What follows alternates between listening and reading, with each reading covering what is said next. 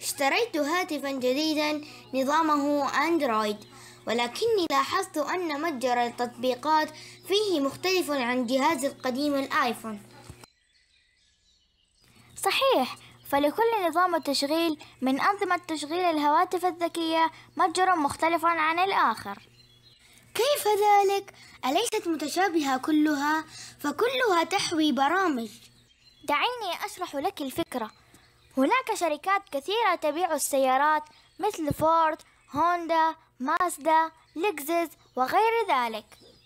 ولكن كل شركة تحاول أن تجذب العملاء إليها بإضافة مميزات للسيارات أو عروض ترويجية أو تسهيلات في الدفع مختلفة عن الأخرى.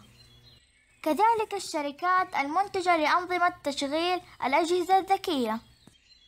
آها تقصدين أن متجر الأندرويد مختلف عن متجر ال iOS؟ وإن تشابهت التطبيقات في كل منها؟